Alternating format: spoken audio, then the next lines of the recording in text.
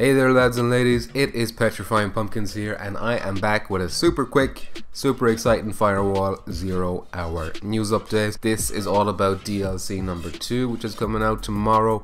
First of all, I just want to give a quick thanks to Madison74 PSN who sent me this link which links to the Firewall Zero Hour official community over on Facebook where a member from Australia has posted up a screenshot of the store where their store seems to have updated to show the new contractor.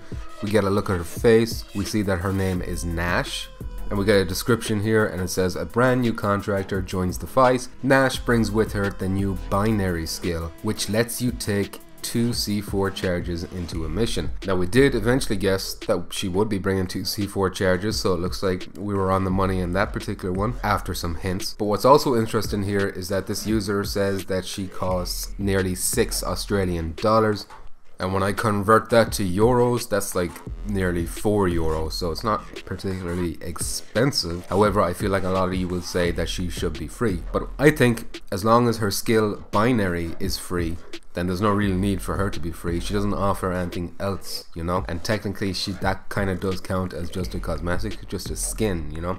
As long as her skill, as long as the thing that makes her unique is added to the game for everyone else to equip, I don't have a problem with that. But I might have a problem with it if it isn't. We will have to wait and see tomorrow. And so that's kind of it for this video, lads and ladies. Uh, I'd be interested to see what you think. I, I think I can already predict what some of you are going to say, but let's have that discussion down in the comments below. Thank you very much for watching. As always, if you like this video, if you want to keep up to date with Firewall Zero Hour and some PSVR news and whatever, then subscribe to this channel and consider doing all that usual moist shite. I'll see you guys in the next one. Bye for now.